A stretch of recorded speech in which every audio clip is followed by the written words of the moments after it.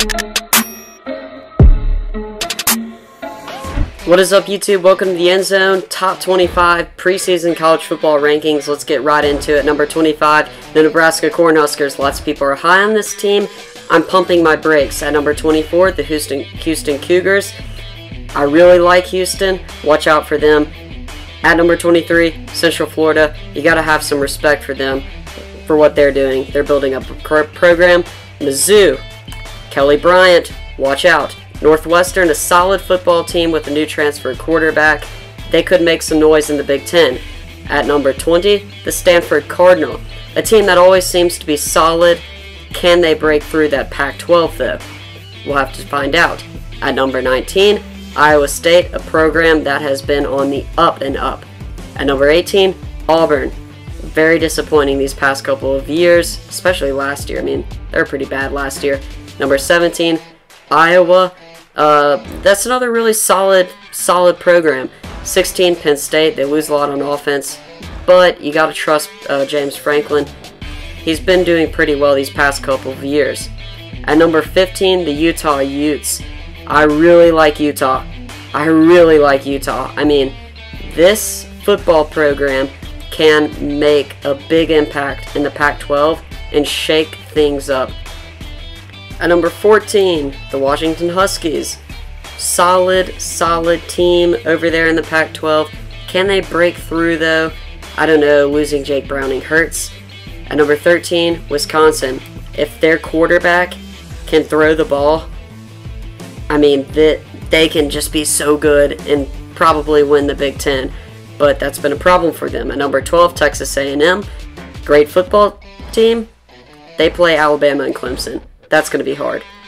11, Oregon. Lots of people were really high on Oregon. I'm not super high on Oregon. I know that I have them highly ranked, but be cautious for the Oregon Ducks. Now we finally break into this top 10 at number 10, the LSU Tigers. I've been disappointed with LSU in these past couple of years. Can the offense finally get to, you know, just a decent offense? Like every year, I feel like watching watching LSU is just like torture. Um, if they can fix that offense, they could be a great football team. Number nine, Michigan. They're just a team that disappoints you almost every year, and probably going to be disappointed by them this year. I mean, that's just brutally honest. Number eight, Notre Dame. They remind me a lot of Washington. They always win a lot of games, but they can never break through. Never like win a national championship or win a playoff game. But they get there. They do have a good program.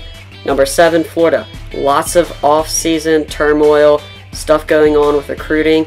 If that sinks into the regular season, then Florida might not be so good. And number six, Texas. They're back. We think. Um, you know, Texas could pull a Maryland and lose to Maryland again. Or they don't play Maryland, a team like Maryland. At number five, Ohio State. Yes, you lose your starting quarterback to the NFL but I have a feeling they have another quarterback who's probably going to be good there. Number four, Oklahoma. Jalen Hurts is the name of the game, but Lincoln Riley is the most important person in this whole program. He knows what he's doing with the offense, and he is going to get Oklahoma back into the playoffs, I think. Number three, Georgia. They're building themselves a little tiny copycat of Alabama down in the SEC East or at least trying to. Problem is, they can't beat Alabama. At number two, it's Alabama, a team that was completely shut down by Clemson in the national championship last year. They do return Tua, so I mean, you never know.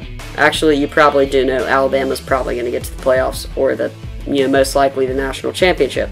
And at number one, a team with like one of the easiest schedules in the country and the best quarterback in the country. That's a recipe for success. It's Clemson. Watch out for them. I mean, I don't even have to tell you that they're basically a lock for the playoffs unless something goes horribly wrong. Let me know what you think down in the comment section below. Please disagree with me. Comment what you think the ranking should be. Comment a whole ranking, I don't care. Let me know what you think down in the comment section though. Make sure to like, subscribe. Thanks for watching The End Zone.